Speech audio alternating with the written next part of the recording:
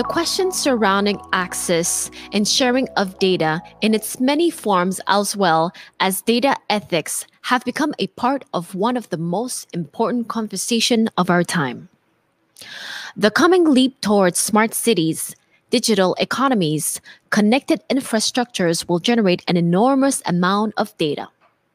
The questions of what to do with this data, how to share it securely, and who would be shared with among other considerations, are creating new challenges for the smart city managers who are juggling with complex data governance challenges, revisiting technology procurement processes, and engaging an increasingly diverse set of local stakeholders.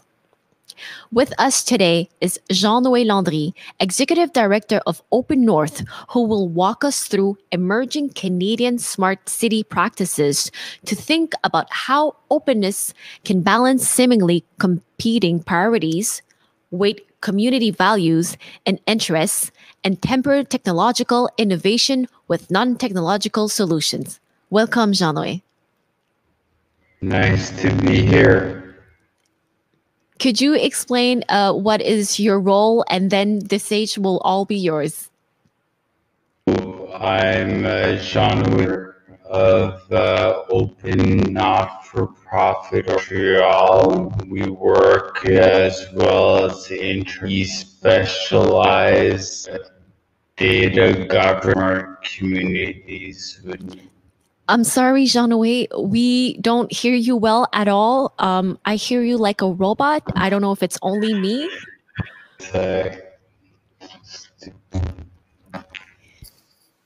Thank you. This happens sometimes, you know. this had happened with technology. How's this? Is this better? Hello? Can you hear Can me we now? test it? Oh, yes, that's perfect now. Thank you. Okay, all right. Let's go back to the old uh, earphones here. Great. Okay, so I was just saying, um, Open North, we're a Canadian not-for-profit organization. I'll speak to kind of our vision and mission in my presentation. We specialize in open smart communities, um, as well as data governance, that kind of critical uh, kind of lens that we bring to the ethical issues that you've, uh, you know, you've introduced in your, your introduction. Thank you, Jean-Noé. This virtual stage is all yours. Great. Thank you so much. So let me just switch to my presentation. Here we go. Wonderful. Okay, great. So today I want to talk about the what I'm calling the Open Smart Community Imperative. Um, and I'll focus on um, four of them. But before that, I think it's very important to kind of highlight um, some of our values and the way that we work at Open North. So principally, um, you know, we help uh, communities of all sizes across the country as well as internationally um, to, to work with data, um, well, to, to make data and technology work for communities. Um, and you see that there's some key core principles that are part of uh, our mission and vision. Um, there's four, uh, four uh, key kind of imperatives um, that I'm going to talk about um, after I give you maybe some of a summary kind of observations from key trends that we're seeing in the Canadian uh, context. I'll speak to you about Sidewalk Labs uh, in the Toronto context, um, but also kind of tease out um, how values and principles can apply to some of the urban problems and challenges that we're facing, some of which obviously very data centric and technology centric. Um, and then I'll give you some examples of how uh, communities in Canada are really kind of stepping up. And there's an emerging model that we can call an open smart uh, community model, and then unpack some of the uh, examples for each of these uh, four imperatives, um, which to summarize, uh, focus on open tech procurement. Um, so if we talk about you know, technology, we need to also talk about how we procure uh, technology and who is part of those discussions, uh, prioritizing data governance. Um, so I'll, I'll, kind of unpack some of those issues around that. Um, entrenching digital rights. So we had uh, DIAC who, who gave a presentation. There's a, uh, a range of different initiatives there. And I want to focus on um, how do we kind of make sure that there's a voice and influence and uh, ability for citizens to actually have influence over uh, the formulation of norms that have an impact around open smart communities. And then last but not least, how do we go from principles to action in a meaningful way through different types of mechanisms? And I've got a good example to share with you then. So let's jump into the, uh, the Sidewalk Labs, or um, I think preferably to call it the Quayside Project, uh, because uh, it's not uh, it's this is that's the the parcel of, of land um, that Sidewalk Labs competed to develop uh, a proposal that uh, I'm sure a lot of people on, that that are listening in today um, are aware of. Um, in a way, um, it's it's a bit of a blessing for us to be able to have had that that experience because it really kind of brought out a number of issues, gaps, challenges, as well as opportunities that relate to um, the way that we want to build the communities of the future, um, and really kind of challenged us to think, you know, way past this kind of techno kind of solutionist or techno focused kind of very kind of optimistic kind of vision of that technology will solve all of our problems. And i think many people that are probably listening here um, don't necessarily uh, adhere to that vision. Um, but we still want to be able to benefit from the good things that technology and data can can bring. So uh, from the, uh, the, the Quayside project in Toronto, um, there's a, a, key report that came out, which was the Digital Strategy Advisory Panel back in 2019. Um, and they, they really kind of helped us focus on some specific, specific things that we need to kind of learn from the Toronto experience. Um, I've, I've listed some of the issues there. So um, that the project, as, as they kind of critically assessed it, um, wasn't paying enough attention to digital culture and promoting citizen participation, for example, or that it lacked um, accountability to, to community or enabled community members and stakeholders to be able to uh, gain kind of more literacy around some of the concepts that they were asked to participate in uh, shaping uh, through consultation processes um, issues around localization of data, as well as questionable confidence in public infrastructure uh, built using untested technology. So that kind of like aspirational um, kind of vision that was kind of forecasted or integrated within the proposal, how to make that like happen, you know, in a way that adheres to uh, regulations and laws, um, you know, locally as well underpinning a lot of these issues is, is that conversation around data governance and who has the ability to shape uh, the governance aspect of data and technology. Um, in the Canadian context, um, we could say that there's so as as Sidewalk Labs uh, was you know developing its proposal, there was also the Smart Cities Challenge, which I know your your audience is well aware of because you've had a presentation on it, um, and key principles that were informing um, the development of those proposals, mainly openness, integration, transferability, and collaboration. Um, we had the, uh, the privilege of being able to help uh, shape and, and design um, uh, the, the Smart Cities Challenge itself. And we actually currently run an advisory service for open smart communities across the country, which I'll describe a little bit later.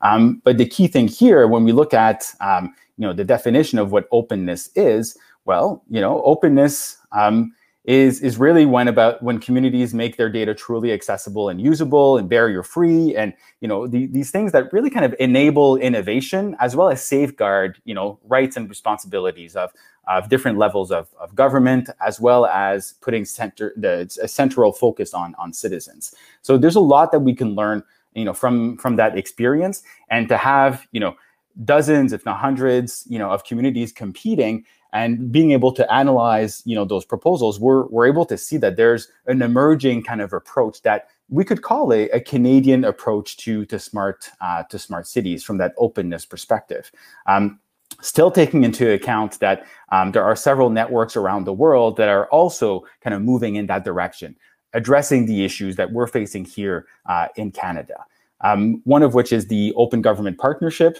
uh, the OGP. Um, big uh, big multilateral organization. Uh, Quebec City was actually just very very recently uh, selected um, as part of their new kind of local program uh, cohort, uh, which gives it the ability to tap into um, a network of, of communities around the around the world, um, as well as kind of um, analyze and understand, you know that.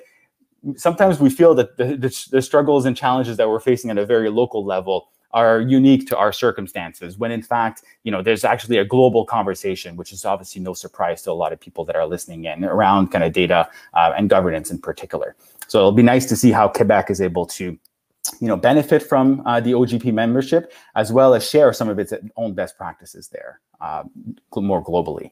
Um, so how do we apply an openness lens to uh, address complex problems um, I think the key thing here, and uh, you know, with uh, kind of the audience uh, today from a municipal setting, um, let's just put it this way. There's no shortage of challenges to, that communities are facing. If and if anything those problems are becoming much more complex you know day after day. Um, you know we, we know about covid we know about climate change um, but where do we start? So these competing priorities really require us to think through you know how are, how do we approach how do we critically think about those problems from the perspective of the value added that data and technology can uh, can bring? So that's why the the openness lens um, I think bring, brings a useful kind of uh, way of kind of setting out a set of priorities as well as opportunities to help address and define those problems as well.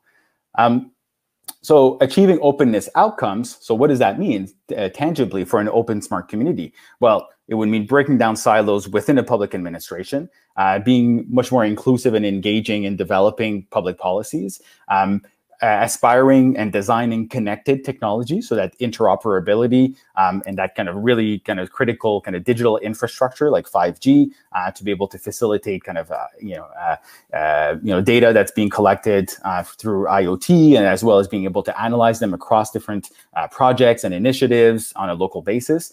And that ethical dimension is obviously critical here. So being able to focus on outcomes from an openness perspective as it applies to different components um, of a city um, is is a way that you're able to yield some uh, some of those uh, results.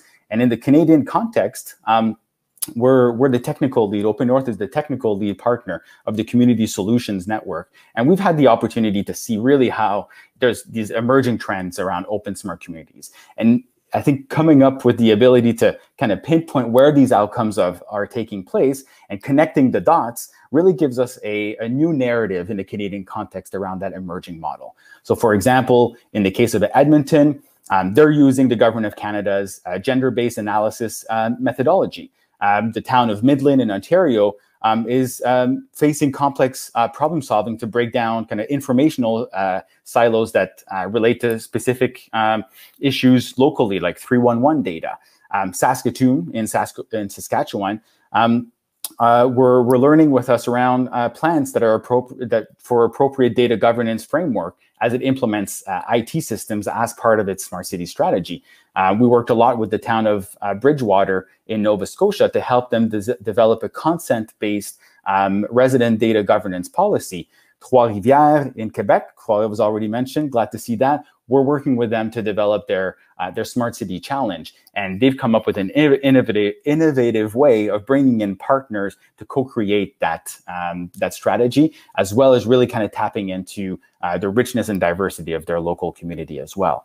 Um, so open smart community is a thing. Okay, it's it's happening as as we speak. Many communities don't necessarily name it that way, as they're focusing on kind of administering services and managing their budgets uh, locally. At Open North, because we saw that this trend was emerging and really kind of moving and kind of evolving from our focus on open uh, data initially, we uh, we coined the the first definition of an, an open smart city, which I, I, I share here. So you see how it's really about different sectors connecting together, as well as being inclusive and collaborative with residents data and technology put at the service of communities through fair, ethical, and transparent governance that really kind of balance these different aspects of what makes a city livable from an economic, social, as well as environmental components and priorities.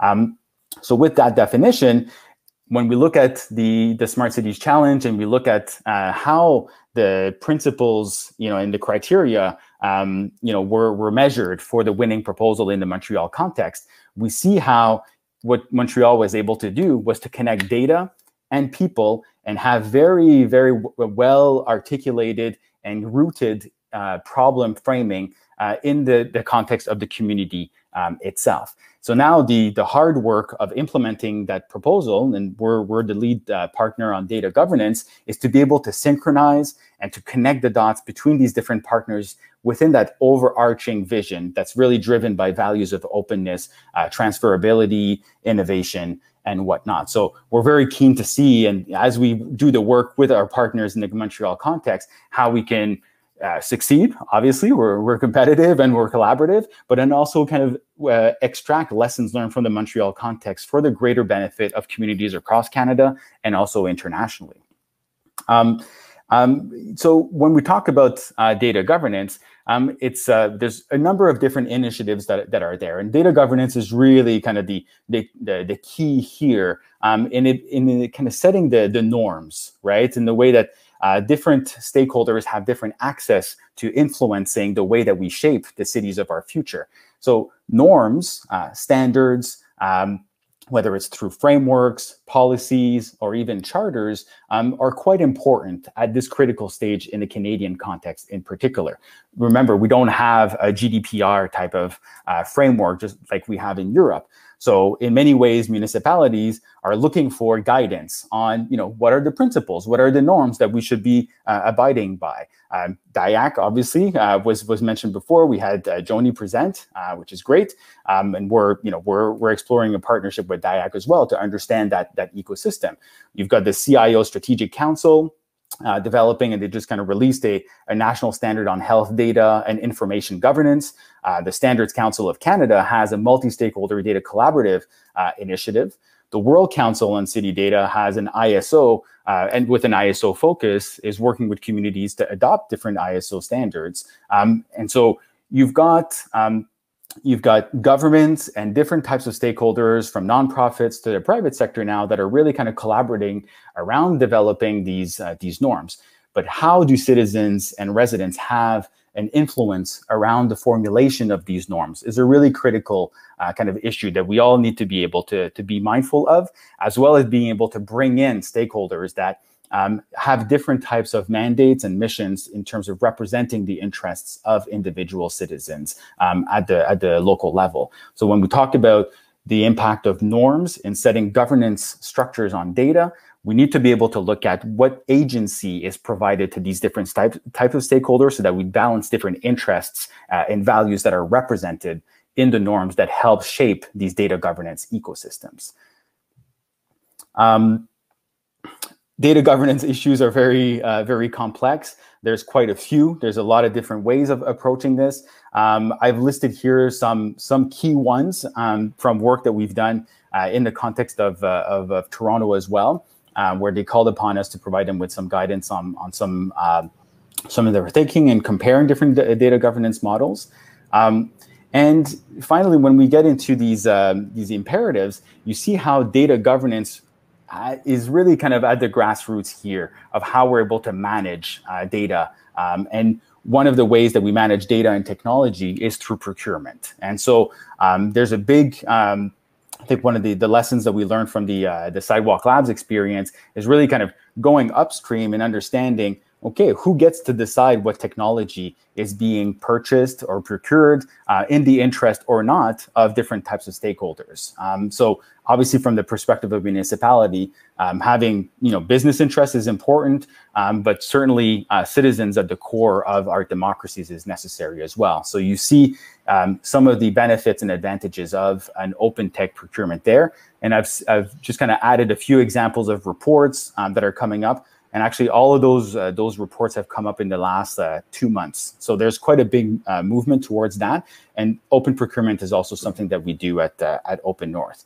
Um, prioritizing data governance, um, we've broken it down into uh, three different um, kind of layers or mechanisms. Uh, so structural, procedural, and relational. Um, each of those will have different ways of being able to be kind of implemented. So there needs to be um, you know, an attention to how to kind of treat different levels of, of government because it has to do with different relationships and different types of partnerships um, that are brought into this, uh, this data ecosystem.